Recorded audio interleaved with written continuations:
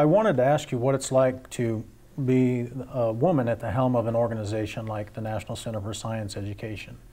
Are there specific challenges that you face that a man may not face? You know, I think the, um, the nonprofit world has been very, very welcoming to women. Um, there are a lot of nonprofit managers who are female. Um, it, it, it hasn't been a field, I don't think, where there's been uh, structural or institutional barriers. I don't know that much about the uh, very, very top level, the, the really huge organizations, the you know United Ways and, and some of these. But even they have had uh, ha have had female managers. So I don't think there's the there the institutional barriers that you find in, in many other professions. Engineering, for example, is, is notorious for having um, uh, institutional barriers toward women. Just the acceptance of women into the uh, pipeline has been uh, uh, very difficult in some fields. Which is good to hear. One of the things I find interesting about what you do is the, the sort of dynamic you have with the opposition. I mean, you're going up against generally men who, who hold on to um, fairly archaic uh, belief systems that have a lot of misogynistic elements mm -hmm. woven throughout them. Do you ever experience any direct backlash uh, because you're a woman? Not that I've ever noticed, frankly. Um, it's just enough know, that I you're think, putting them in their um, place. And no, I, I, have never noticed that before. Well, number one, I don't do debates. You know, I yeah. don't do formal debates where, you know, one person on one side of the stage, another on the other side of the stage, and and you, you know, because that's not how we do science, and it just misleads the public. You know, debate is a sport; it's not right. how we do science, and so I don't have those kinds of of, of, of interactions with uh, creationists or people who disagree with me. I will go on radio and television shows and stuff. Um, frankly, I think being female is is, uh, or maybe just my own, you know, idiosyncratic personality is an advantage because I'm, I, I don't get ruffled very easily, low testosterone or something, I don't know. but um, I, if I'm on the radio show with a creationist, um, what's my goal? Okay, my goal is to try to, I'm not talking to him.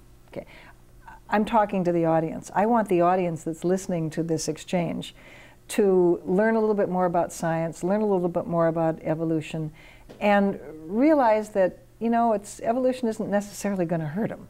Uh, and it's a really important part of science that ought to be in schools. Those are my goals.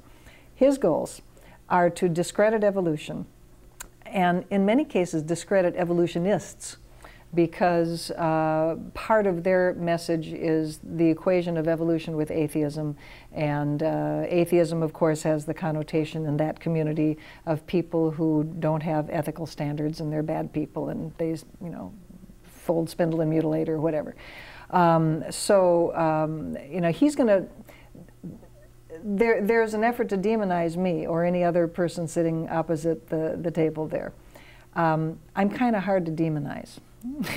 I would think so. I'm not a really demonizable kind yeah. of person. Even the people who disagree with me, you know, tend to say, "Well, she's actually kind of nice," but we, we think her ideas are really dumb. But but but you're out there in the middle of it. You're out there getting things yeah. done. Do you ever do you ever notice any biases against women in skepticism or in science, simply for for the fact that they are women and may be perceived as being uh, overly emotional and not as logical and rational as, as a, skeptic or a scientist needs to be? You know, the skeptics movement is, has been a really fascinating one. And I got in, interested in skepticism like back in the 60s when it was first getting started. The, the Zetetic, you know, the, the little funny journal that, that um, preceded Skeptical Inquirer, you know, yeah. back in the day. And uh, yeah, the, the founders of the skeptics movement back in the 60s were largely white males. Um, and females were kind of an afterthought. It wasn't, I think it was, it took until the late 70s, maybe even the early 80s before I and very many other women were added as fellows to CSICOP. Uh, probably was in the 80s, come to think of it. And, you know, but it was started by a bunch of guys my age now, um, uh, you know, uh, back in the 60s.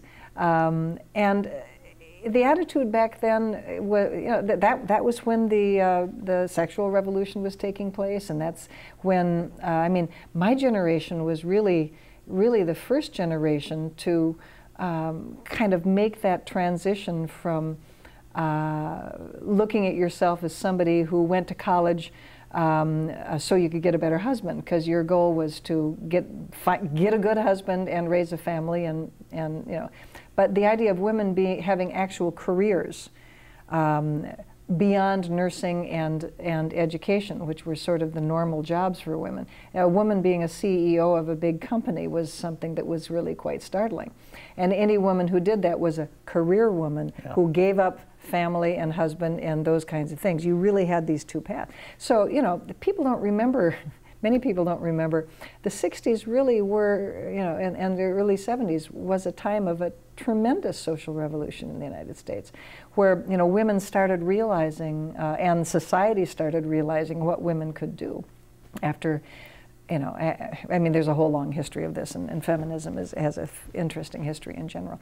But you know, not to fault the founders of the of the skeptical movement, but they were they were emerging from that milieu where women weren't taken terribly seriously, and it took a while before uh, women started becoming professionals in, in larger numbers. Um, nowadays, when you look uh, at college enrollments, uh, when you look even in the sciences, uh, there's a substantial percentage. I'm sorry I don't have the uh, percentages in my brain right now. In the social sciences, it's over half of the women in graduate um, programs are female. And in the biological sciences, it's close to half. In the physical sciences, it's still lagging some. And in engineering is, is the, the, the, the smallest percentage, but it's still so much larger than it was a couple decades ago. And I've seen the skeptics movement changing in that same kind of pattern. Um, when I first started going or was invited to speak at skeptics uh, meetings, uh, most of the people were older and most of the people were male in the audience. Mm. Most of the people on the dais with me were, were males, uh, a couple of females, maybe once in a while. Um, and I've seen that change, and it's been terrific. And, and the best change, frankly, is the number of young people coming into the skeptics movement. Uh, and this, I think, largely is a result of, of uh, digital communications, largely result of, of the internet, not having to be in any particular location, uh, being able to correspond and communicate with like minded people uh, all over the world. I mean, it's been a wonderful opportunity to, to grow a movement uh, like the anti pseudoscience movement. Right.